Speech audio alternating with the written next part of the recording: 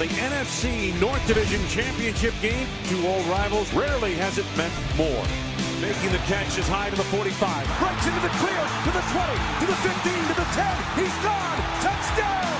Aaron Rodgers coming out on the field right now. Shades of Willis Reed of the Garden. Here's the snap. Throws the middle. Got his man. The fire. Reaching end zone for the lead. Now Rodgers quickly to the line of scrimmage under center. Takes it on a quarterback sneak. Touchdown. Rodgers doing it all.